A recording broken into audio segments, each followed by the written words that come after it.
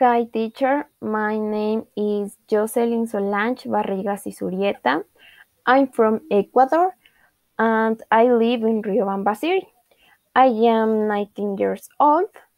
I decided to learn English because it catches my attention and I believe that this knowledge is essential in the career of social communication. The expectations I have about this class is to improve and learn about this language, which is one of the most used in the world.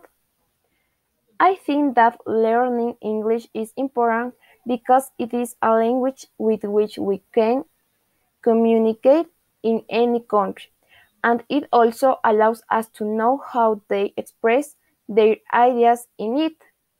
About my personal information, I can say that I have an older brother.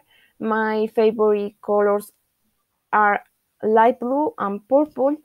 I love desserts and I have a boyfriend. Thank you, teacher. Bye.